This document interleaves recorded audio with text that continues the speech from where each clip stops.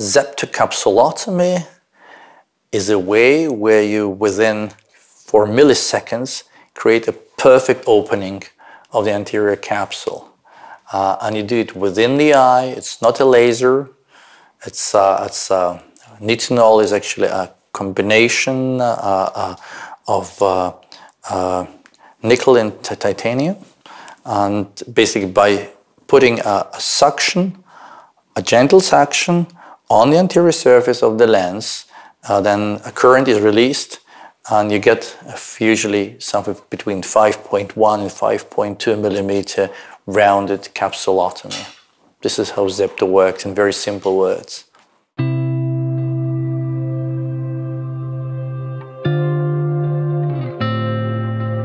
the four milliseconds is, is just a cut. But you also have to you have to introduce into the eye. So I would say one minute in a total. Introduction, centration, suction on, uh, then the cut, and then remove it out of the eye between one and 1.5 minutes.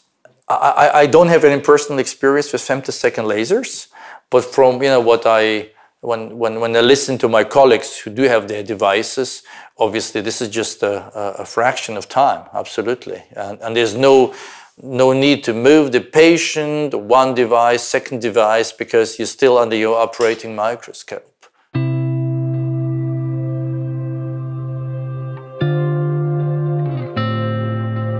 At the moment, I use Zepto for two indications. First is actually very difficult cases. And this is something that's so different to the femtosecond laser. Femtosecond laser uh, can only work when the cornea is transparent. Otherwise, the laser beam does not pass the cornea. Uh, is, is exactly the other way around.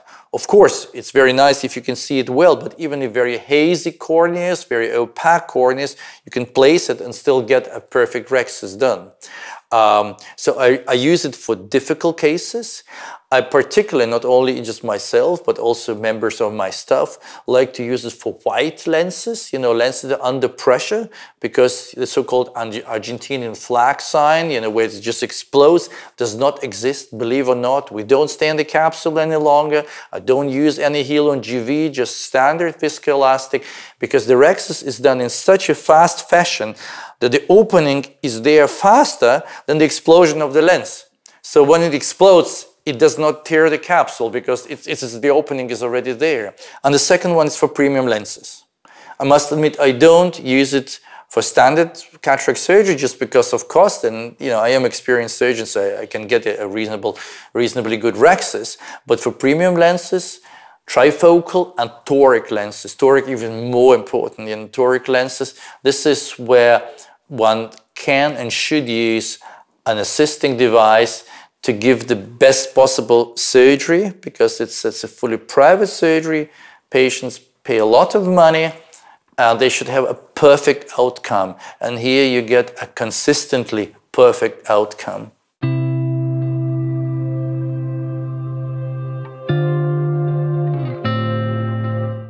The benefit of the patient is slowly also because of the development of the femtosecond lasers, we sort of slowly move toward uh, centering the lens, in particular if it's a multifocal lens, not on the anatomical center, but on the visual axis. And it's particularly important for hyperopes, who usually have a large angle kappa. Uh, and with this device, I tried several times, because it is transparent. The, the cup is transparent, and if you do it under topical, not under peribulbar anesthesia, but under topical, the patient can see the light of the microscope, and they can see the light of the microscope through the Zepto device. So you know where their first Purkinje reflex, and this is, you know, we assume it's the visual axis. So you can, uh, you can center it on the visual axis, and then in the future, and there is already one lens on the market, and I'm sure some other lenses will also develop.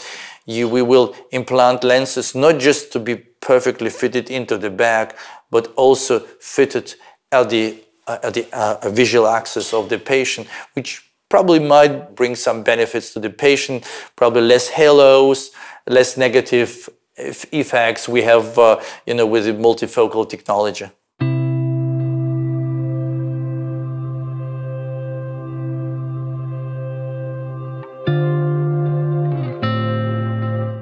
Actually, I found it to be very easy.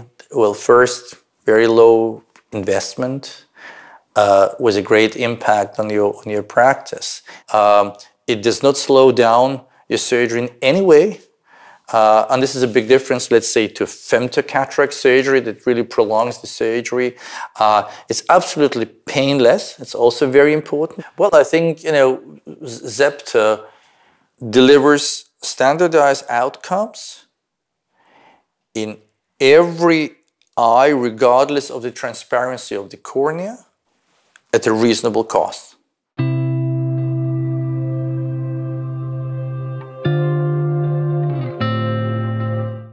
I think the, beauty of this device, why I like it from the first day, it works very fast. It does not prolong your surgery. You do your surgery under topical anesthesia. The entire rhexis takes one to one and a half minutes. You introduce the device into the eye. The anterior chamber is filled with viscoelastic. The suction is applied on the lens. Uh, then you release the cut. The cut itself, as I said, is just for milliseconds like this. And then you remove it. Uh, so basically your cataract surgery is exactly the same time as if you would do it manually. And this is a big difference to all the other devices that are present on the market, particularly the big bulky, expensive femtosecond lasers where you have to move the patient, whatever.